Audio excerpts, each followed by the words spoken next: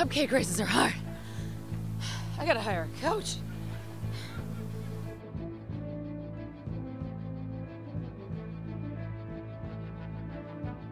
Why did I hire a coach? Well, I've heard Coach Leonard's the best in the business. My name is Elroy Leonard, and I'm a trainer of cupcake athletes.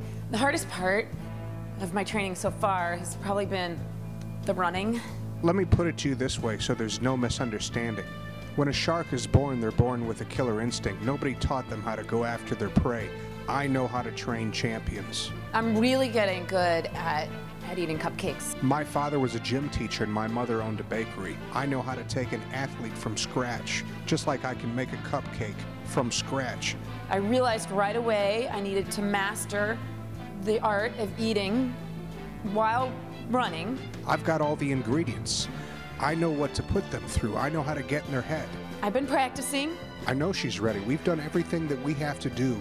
Every cupcake takes five minutes off your time, or if you eat one of these little ones, two minutes.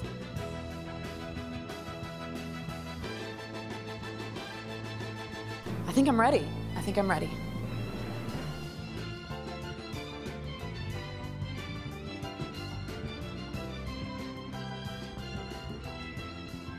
It's a cupcake run, but the whole thing is no cupcake.